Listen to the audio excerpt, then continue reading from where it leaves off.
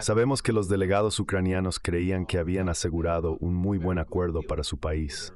Celebraron su éxito al obtener concesiones de Rusia, las cuales consideraban aceptables para su país en ese momento. Sin embargo, quedaron claramente sorprendidos por la decisión de Zelensky de retirarse de las negociaciones con Rusia.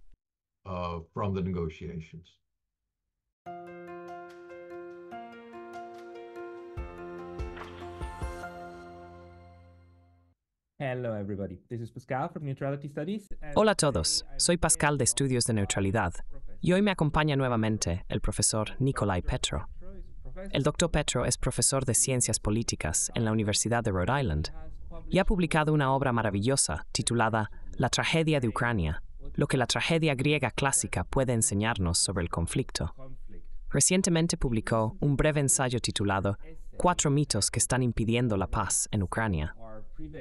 Creo también, y luego de que se en una situación a utilizar, que aparentemente están llevando a un cambio en la narrativa occidental sobre las capacidades rusas.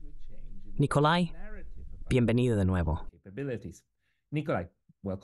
Es un placer estar contigo de nuevo. Entonces, Nikolai, escribiste este ensayo sobre los cuatro mitos. Me gustaría que primero discutiéramos los cuatro mitos y luego más tarde discutir por qué piensas que se fusionaron o cómo se mantienen vivos. Pero comencemos con los cuatro mitos. Mencionaré cada uno y luego tú puedes explicar por qué son mitos. Mito número uno. Si Putin no es derrotado en Ucrania, avanzará hacia Europa.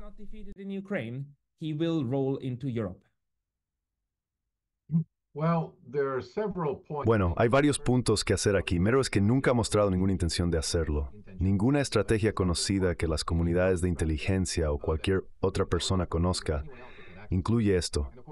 Por supuesto, un aspecto muy decisivo es que cuando Rusia invadió Ucrania, lo hizo con muchos menos tropas de las que serían necesarias para conquistar el país.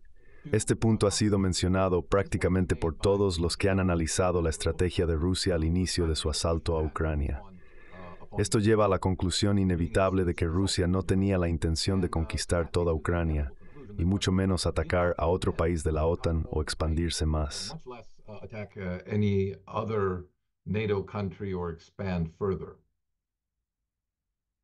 Los críticos a menudo argumentan que personas como nosotros afirman que Rusia no tiene intención de invadir Ucrania. Anteriormente he declarado que Rusia no invadiría Ucrania porque sería demasiado perjudicial, dada la estrecha relación entre las dos naciones. Sin embargo, Rusia invadió. Esto plantea preguntas sobre la comunidad de inteligencia. ¿Por qué hay tantos informes en los medios que afirman que Rusia está decidida a invadir la OTAN? Este tema se destaca una vez más en las discusiones de política exterior de hoy.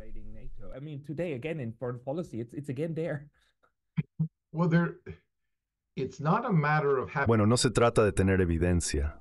Se trata de hacer un argumento que apoye la postura actual del gobierno, que prefiere un conflicto militar que debilite a Ucrania sobre un acuerdo negociado.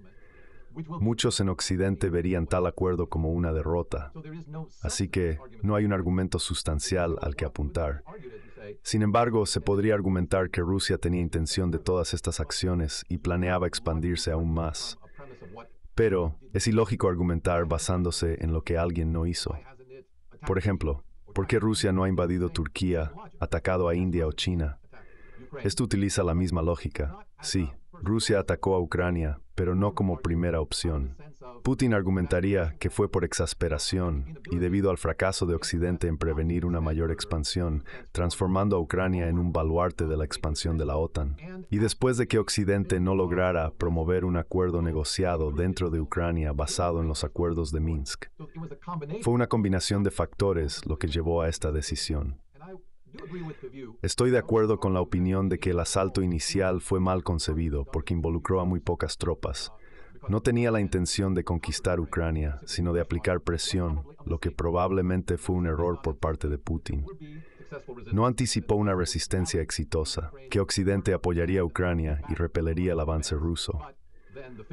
Sin embargo, el fracaso de los acuerdos de Estambul llevó a una reevaluación de la posición de Rusia.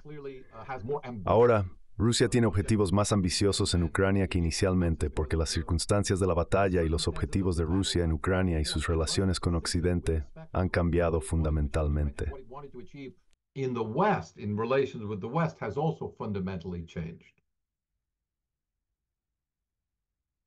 Una pregunta, que es algo no relacionada con los cuatro mitos, pero cuando escuché la entrevista de Putin con Tucker Carlson, creo que escuché que Putin todavía aceptaría comenzar negociaciones basadas en lo que se logró en Estambul. Así es como interpreté sus palabras. ¿Tú también escuchaste eso?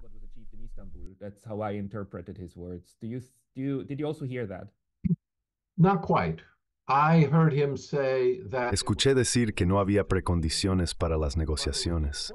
Sin embargo, también declaró que las negociaciones serían inútiles a menos que Ucrania aceptara la situación actual como una realidad. Esto se ha mencionado muchas veces y podría parecer como un ultimátum en inglés. Sin embargo, entendido en ruso, parece que significa que las negociaciones no pueden basarse en expectativas poco realistas. Es esencial considerar el actual equilibrio de fuerzas entre Rusia y Ucrania. Este equilibrio ha llevado a Ucrania a una posición debilitada en el campo de batalla, situación que probablemente continúe. Por lo tanto, si Ucrania quiere negociar seriamente, no puede comenzar con demandas poco realistas, como preguntar cuándo se retirarán las fuerzas. Esto no refleja la situación real en el terreno en Ucrania. Pasando al segundo mito, la invasión de Rusia a Ucrania nunca fue únicamente acerca de la OTAN. Este punto se ha reiterado varias veces. No se trata solo de la expansión de la OTAN en Occidente. Esta perspectiva es compartida no solo por personas en Rusia y Ucrania, sino también por el secretario general de la OTAN, Jens Stoltenberg. Ha declarado que el asunto es significativamente acerca de Ucrania.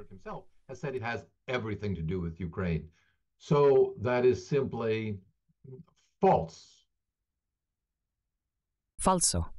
Al principio, se pretendía firmemente que la OTAN era solo un espectador inocente. Pero luego, como se mencionó, incluso Stoltenberg admitió dos veces que Putin atacó Ucrania porque quería detener a la OTAN. Sin embargo, la OTAN no se detiene. ¿Crees que el público en general eventualmente se dará cuenta de esto? Estas declaraciones ya no están siendo ocultadas por los medios occidentales. Pero, ¿ves que se mencionan más a menudo ahora?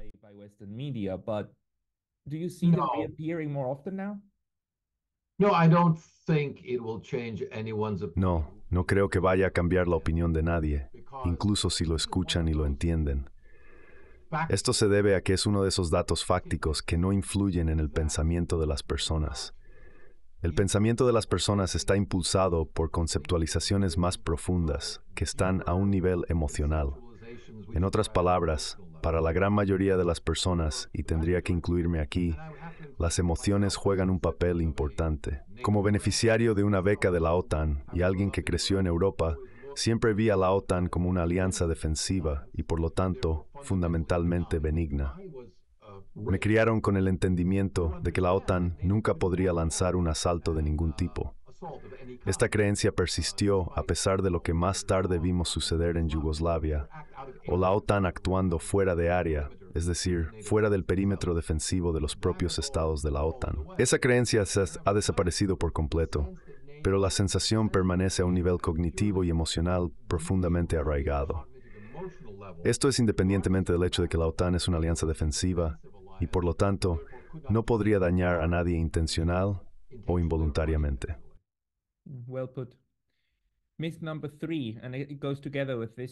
Bien dicho. El mito número tres, que está estrechamente relacionado con este, es la creencia profundamente arraigada de que la guerra en Ucrania es una guerra de democracia contra autocracia.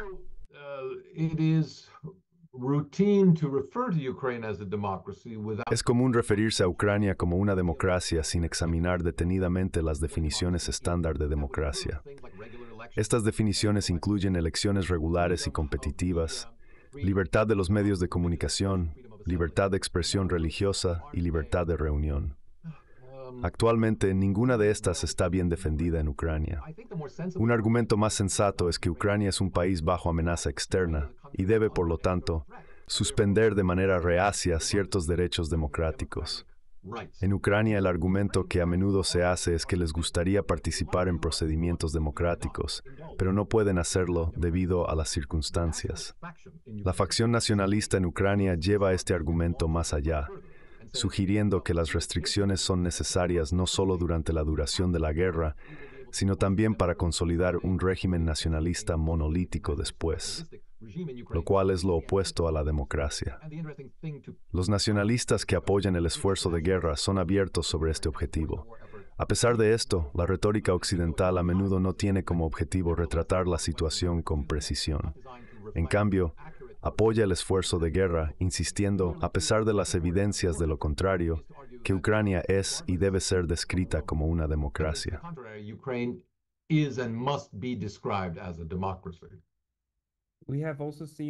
También hemos visto que Ucrania, durante la ofensiva de Kharkov, recuperó una cantidad significativa de territorio que Rusia había ocupado durante un par de meses al inicio de la invasión.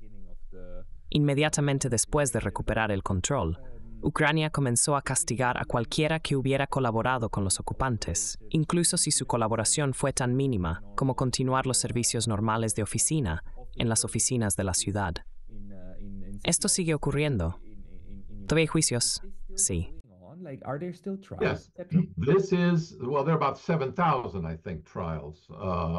Bueno, hay alrededor de 7.000 juicios en curso y muchos procesamientos también están en progreso, con muchos más esperados. Igual de importante, la legislación ucraniana, específicamente la ley sobre la restitución de territorios temporalmente ocupados, que incluye a Crimea, establece que los ciudadanos ucranianos en estas regiones serán considerados traidores por defecto por haberse quedado allí. Sin embargo, pueden solicitar la restitución de sus plenos derechos de ciudadanía si firman una declaración pidiendo perdón al Estado ucraniano. Si no firman tal documento, pueden enfrentar el castigo completo de la ley, incluida la expulsión del país. Esta expulsión se aplica a aproximadamente la mitad de la población de más de dos millones de personas en Crimea, porque aceptaron la ciudadanía rusa. Por lo tanto, aunque todavía puedan tener la ciudadanía ucraniana, el hecho de estar en la ciudadanía rusa por cualquier esfera que están por ser expulsados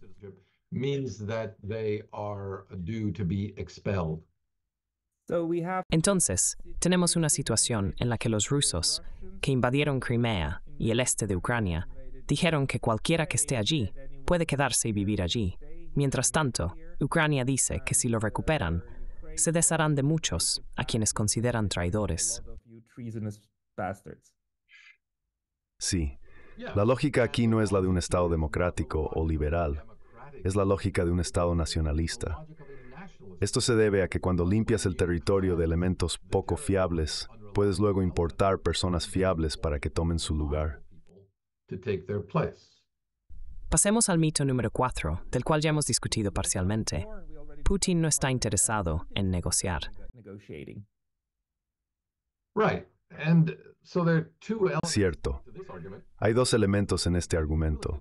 Primero, siempre ha mostrado una disposición a negociar sin ninguna condición previa, excepto por una aceptación de la realidad determinada por la situación militar en el terreno. La segunda indicación clara son las negociaciones de Minsk y los subsiguientes acuerdos de Estambul. Putin a menudo se refiere a estos, no para sugerir comenzar el proceso de nuevo, sino para destacar cuán cerca estaban las dos partes de alcanzar un acuerdo. Luego, líderes occidentales, más prominentemente Boris Johnson, convencieron a Zelensky de continuar luchando prometiéndole un apoyo incondicional, lo cual resultó ser falso.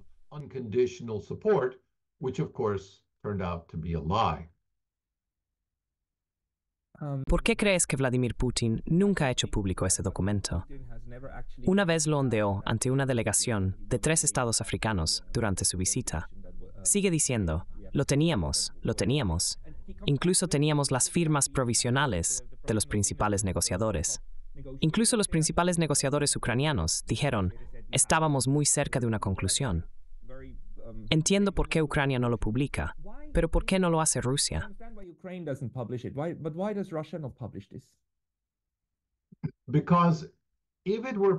Porque si se publicara, solo podría servir a un propósito, socavar la posibilidad de futuras negociaciones basadas en cualquier cosa ya acordada.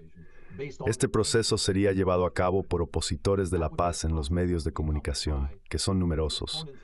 Simplemente lo destruirían con mil objeciones y recortes. Sin repudiar nunca oficial o formalmente la idea de paz, asegurarían que la perspectiva más cercana a la paz lograda hasta ahora se hunda. Por lo tanto, puramente como una estrategia de negociación, yo como diplomático profesional nunca habría publicado algo así nunca reconocería la validez de lo que se ha publicado, lo cual creo que fue por el Wall Street Journal. Creo que no es el texto completo porque Putin ha dicho recientemente que el texto en sí era un documento muy grueso y lo que el Wall Street Journal publicó era solo un puñado de páginas, probablemente más, como un resumen de los puntos principales. Sin embargo, en cualquier negociación, son los detalles los que siguen siendo el punto de discordia. Sabemos que los delegados ucranianos sintieron que habían conseguido un muy buen acuerdo para su país y estaban celebrando su éxito sobre las concesiones que habían obtenido de Rusia, concesiones con las que sentían que su país podía vivir.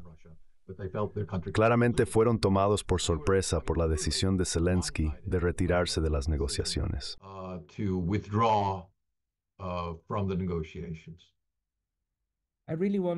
Realmente me pregunto cuántos años o décadas tomará para que esto se convierta en conocimiento común en Occidente. Solo se convertirá en conocimiento común una vez que sea desinteresante para todos. Esto se refiere a cuán dañinos y horribles fueron los eventos, como después de la primera invasión y la destrucción del proceso de paz. Pero lo que me pareció interesante en la entrevista con Carson fue que por primera vez Entendí que Putin es definitivamente un hombre que piensa enteramente en términos de procesos. Todo para él es un proceso. Todo es a largo plazo y significativo, no solo la historia rusa, sino también las políticas. ¿Qué crees que sucedería si estos cuatro mitos se descartaran y las negociaciones reales comenzaran de nuevo? ¿Cómo crees que podría desarrollarse el proceso? ¿Cuáles serían los objetivos de Vladimir Putin y el lado ruso en la situación actual?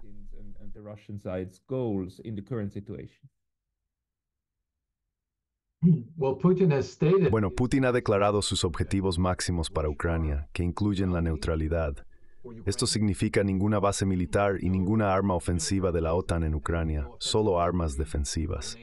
Probablemente él imagina una fuerza armada limitada capaz de autodefensa, pero no de ofensiva estratégica contra Rusia. Esto sería negociado específicamente en términos de ubicación y número de fuerzas, entre otras cosas.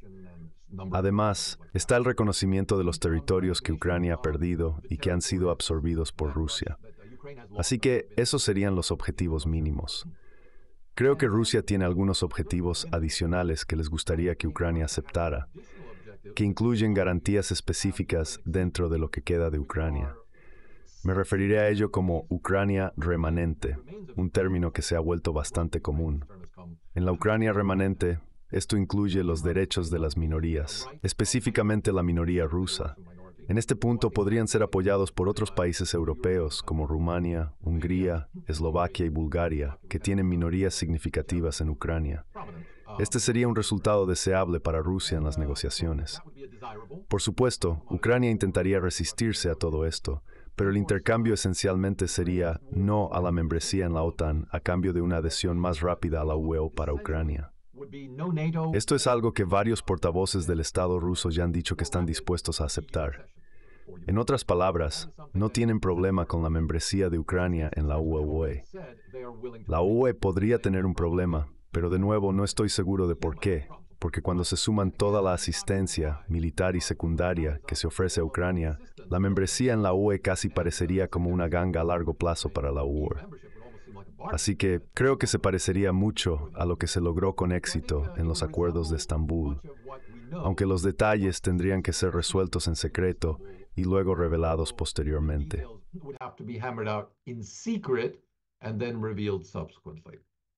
Pero tú también lo ves como yo que la neutralidad del resto de Ucrania es básicamente innegociable para que Rusia se detenga, ¿verdad? Sí. La neutralidad, que de nuevo no debería ser difícil de imaginar para Ucrania, porque era la posición predeterminada de Ucrania cuando declaró su independencia. Hasta 2019 estaba estipulado constitucionalmente. Cuando las negociaciones en Estambul estaban en curso, eso no parecía ser un problema para la delegación ucraniana. Lo que más les preocupaba era cómo salvaguardar y garantizar militarmente esa neutralidad en caso de que Rusia intentara violarla. Aquí es donde creo que podríamos estar subestimando la importancia de los múltiples acuerdos bilaterales que Ucrania ha estado firmando con varios países de Europa Occidental. Estos son para la seguridad a largo plazo, por supuesto. Son en esencia lo que Ucrania y Rusia acordaron en Estambul como una medida de seguridad sustituta a la membresía en la UE. Por lo tanto, me resulta interesante ver que estos acuerdos bilaterales están, de hecho, entrando en juego. Cuantos más de ellos haya, más puede argumentar el actual gobierno ucraniano a sus propios nacionalistas que aunque no estamos siendo acogidos en la OTAN, y esa parece ser la postura actual del liderazgo de la OTAN y de los Estados Unidos, hemos logrado esta garantía secundaria de seguridad mutua.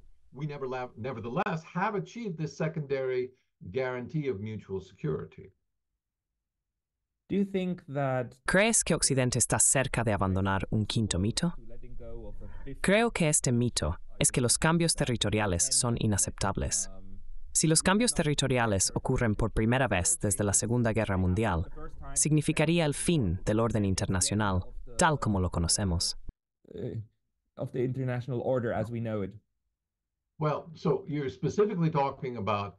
Bueno, estás hablando específicamente de cambios territoriales no negociados. Obviamente hemos tenido muchos cambios territoriales, tanto en Europa como en todo el mundo, a través de negociaciones, referendos, acuerdos bilaterales y ratificación internacional. Creo que este problema, como muchos problemas diplomáticos, puede resolverse mediante la terminología. En otras palabras, una vez que un tipo de cambio territorial iniciado mediante violencia es ratificado a través de un procedimiento no violento, todo el proceso se ve como que concluye positivamente. Creo que esto es lo que eventualmente debe suceder en este caso.